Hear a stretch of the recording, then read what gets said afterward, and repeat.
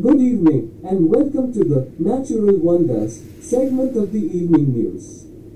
I'm your host, Dachi Duck Duck Busi, and today we are diving into a rather fishy topic.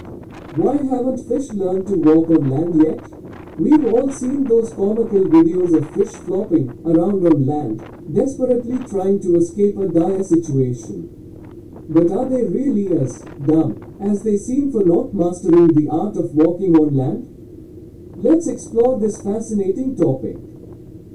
Well, it's important to remember that fish are perfectly adapted to their underwater environment. Over millions of years, they evolved incredible adaptations for swimming, including streamlined bodies and fins that allow for efficient movement through water.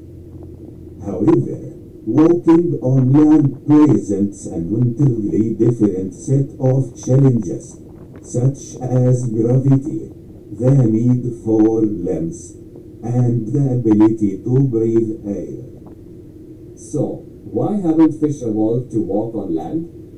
Evolution doesn't happen overnight, and organisms adapt to their environments over countless generations.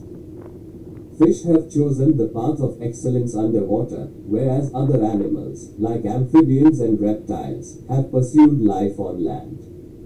Fish are incredibly well suited for aquatic life. They've evolved to excel in their domain.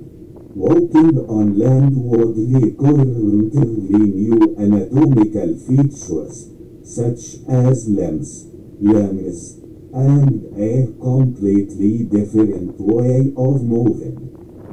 Evolutionary change like this takes millions of years. So, while it might be amusing to watch fish flounder on land, it's essential to appreciate the complexity of evolution and the fact that each species is perfectly adapted to its unique niche. Fish may not have learned to walk on land, but they've mastered the art of swimming. Rather than poking fun at these aquatic creatures, let's focus on preserving their natural habitats.